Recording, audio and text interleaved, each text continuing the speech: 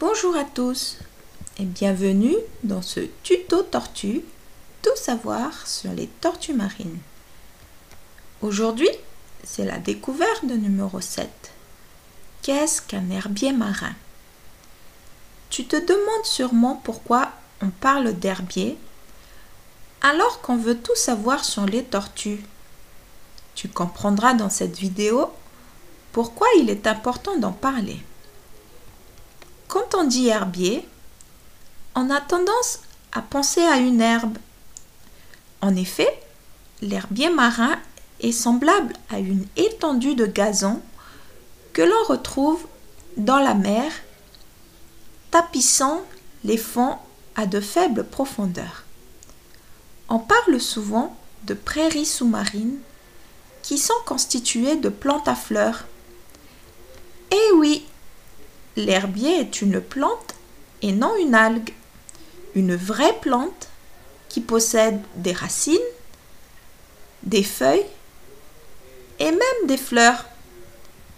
C'est d'ailleurs grâce à ces racines que l'herbier fixe le sol marin et le stabilise. Et comme toutes les autres plantes, les feuilles de l'herbier produisent aussi de l'oxygène. Grâce à la photosynthèse, les feuilles élaborent de la matière organique en absorbant du gaz carbonique, en rejetant de l'oxygène. Il détient donc un rôle important dans l'oxygénation de la mer. Mais le rôle de l'herbier marin ne s'arrête pas là.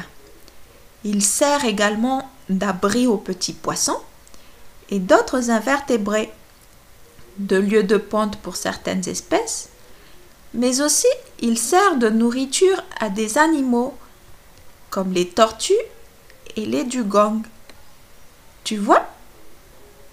Nous avons la chance à Mayotte d'avoir de grandes étendues d'herbiers qui permettent à nos belles tortues et nos dugongs de s'alimenter. Petits comme grands, beaucoup d'animaux ont besoin de ces prairies sous-marines. Il sert de base pour la chaîne alimentaire de zone de nurserie. C'est une zone avec une importante biodiversité. Il protège le sol marin.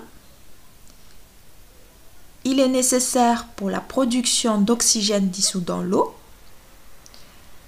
Avec tous ces rôles attribués, il est important de préserver ce milieu pour le bien de plein d'animaux. Merci et à bientôt